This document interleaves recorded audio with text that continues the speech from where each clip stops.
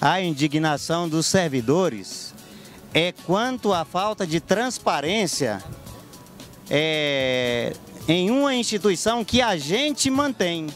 É essa a maior indignação de cada servidor que faz parte do Social. A primeira sugestão dada por todo mundo é que se tenha uma auditoria no Social para que a gente conheça um sistema que a gente mantém. Essa é a primeira.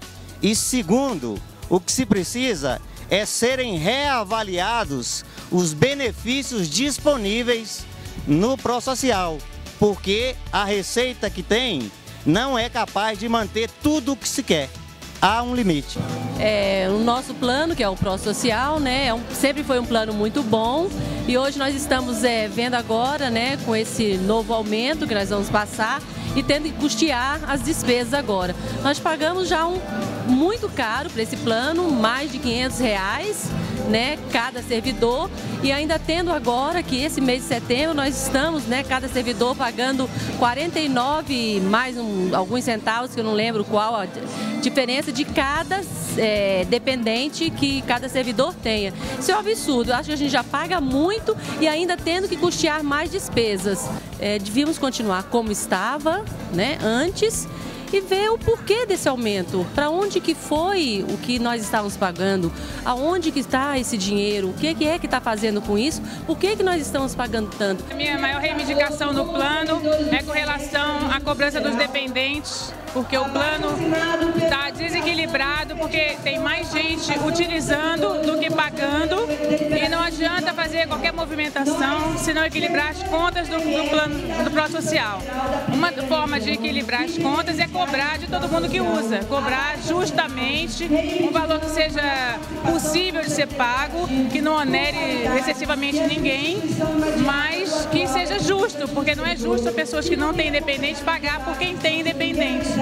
E tem independente que usa muito, independente que usa pouco, mas tem que cobrar de todos. Essa é a reivindicação. Uma das reivindicações é essa. A nossa indignação, a, a, primeira, é que foi uma decisão unilateral, né? Uma decisão em que a administração do tribunal é, resolveu, né, decidiu sem fazer um estudo prévio, sem realmente é, ter elaborado uma planilha de custos para justamente está é, adequando né, as novas necessidades do mercado. A gente sabe que a, a, saúde é muito cara, mas nem por isso né, a gente pode aceitar uns, uma, umas decisões é, tomadas é, pela administração sem é, ouvir o servidor e os beneficiários do Social que realmente eles fazem parte né, de todo esse do, do plano, do plano, tanto os magistrados como os servidores, é, os requisitados, todos aqueles são beneficiados. Então eles precisam ser ouvidos e saber né, realmente a carência, o que, o que é que está acontecendo,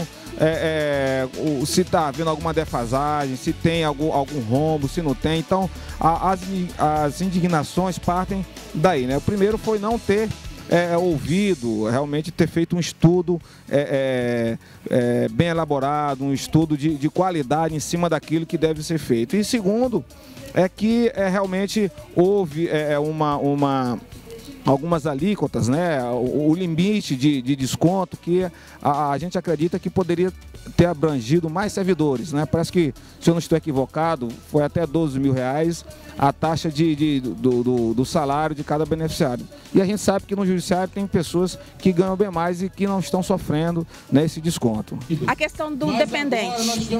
Algumas pessoas têm dependente, outras não. E eles decidiam que apenas, decidiram que apenas quatro pessoas pagariam como dependentes. E eu não acho certo. Eu acho que todos os dependentes têm que pagar. Que seja um percentual diferenciado para aquelas pessoas que têm mais de quatro dependentes, mas eles deveriam pagar também, porque eu não tenho nenhum dependente e eu pago.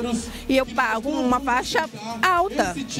E outra questão, eu não concordo com essa faixa. Eu acho que tem que ser um percentual salarial mesmo que suba, ou mesmo que fique no tanto que eu pago hoje, mas eu acho mais justo. Eu não acho certo uma pessoa que paga, que recebe 24 mil, pagar o mesmo tanto que eu, que recebo menos de 10. Então, eu acho que o principal é isso, colocar um percentual para que todos paguem, inclusive os dependentes, aqueles que ultrapassem o limite de 4, porque seria justo para todo mundo.